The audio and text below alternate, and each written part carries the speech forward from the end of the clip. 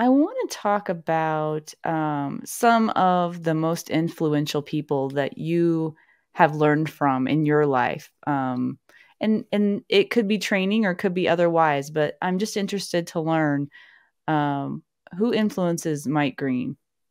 Yeah, so I mean, I'm I'm I'm grateful and thankful to so many people out there.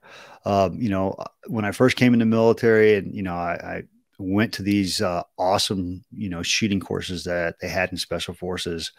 Uh, you know, they sent us out to civilian shooting schools, um, and I, I, gained a certain level of proficiency. But the guy who uh, I didn't really know from Adam, we had mutual a mutual friend. I had a, a friend that lived near a guy named Kyle Lamb, and he introduced me to to Kyle, and and Kyle took me to my first USPSA match. You know, he didn't know me. Mm. I didn't work with him. I wasn't one of those guys. And, uh, but he basically went through that process of making sure I had the right gear for the match, calling me the day before to make sure that I was actually showing up. And then when I got there, you know, he walked me through and showed me how to do all this stuff. And, and I thought, hey, you know, I, I've been to a ton of, of shooting schools at this point, so I'm going to just smoke this. And it was quite the opposite, you know, but, uh, to me that was so impactful that somebody of his caliber and and you know at the time nobody really knew uh he, you know he wasn't he didn't have viking tactics and you know he wasn't uh, you know the legend that he is today but uh, even back then you know he had a certain era of,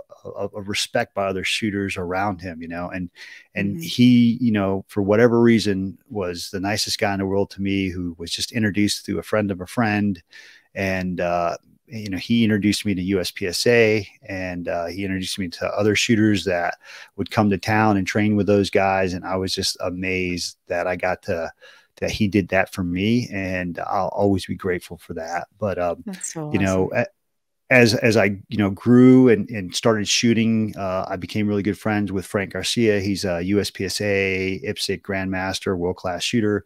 He had a huge influence on my shooting skills and ability.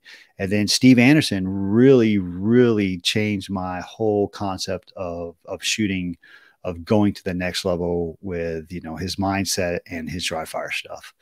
Mm. Um, and uh, in the in the in the self defense world, you know, um, a big huge influence on me is Tom Givens. The way he does his defensive classes, um, and and you know, um, that's where I met Adam was at a, uh, a Tom Givens uh, Rangemaster course, you know, and mm-hmm. I think that the you know his impact on the community is is so like underrated. I, there's people out there that have never heard of Tom Givens, and I'm like, wow, how can you not have heard of the guy? You know, mm-hmm. uh, but it, he has done so much, and as far as like opening my eyes into you know the civilian world, defensive shooting, and and how that impacts, and how we need to, you know, really work on the mindset of our students to be in legal justified.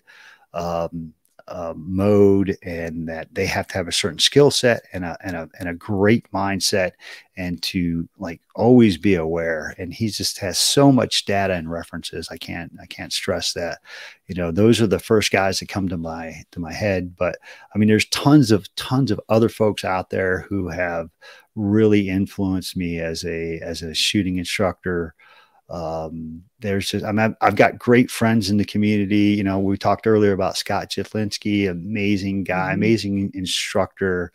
Um, you know, eh, we just, there's so many folks out there. I could, you know, I could probably go, we could spend an hour just talking about all the people who have influenced and helped me out through, uh, throughout my shooting career.